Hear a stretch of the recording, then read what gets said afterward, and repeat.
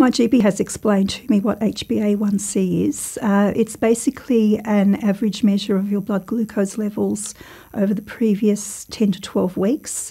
And it's very important to have that um, test having diabetes because it actually gives you that average and it gives you a better clinical picture of your ups and downs over that time period rather than just testing yourself every day, which only gives you um, an idea of what your blood glucose is at that very minute that you're testing. So it's a more accurate measure to have your HbA1c tested. I normally test it twice a year. I know I should get it done every three months, but I actually have a total fear of needles. So for me to have my bloods done, it's a really scary thing for me, and I know I do have to have it done more often. Um, but I'm very happy with my results the last time I had it done a few weeks ago.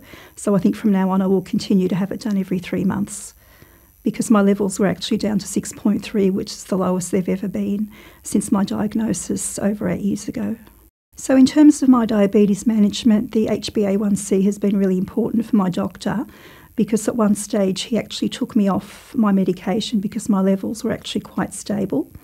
But in the end, the HbA1c also um, made he made the decision to put me back on my medication because I'm taking so many other meds. Um, I've got asthma particularly, and I have to take a lot of steroids for that. And I know that actually pushes up my blood glucose levels very high when I'm on the steroids, and sometimes it can take a few months for that to come down to normal.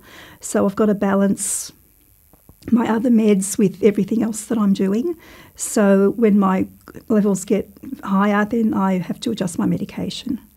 Having the HbA1c test regularly has been really helpful to me in terms of my diabetes management because depending on whether it goes higher or lower, then you can um, have a plan with your GP or your other healthcare provider and they can actually adjust your medication or the type of food you're eating or your exercise levels uh, to get that back into range. So I would recommend that everybody has that test uh, every three months.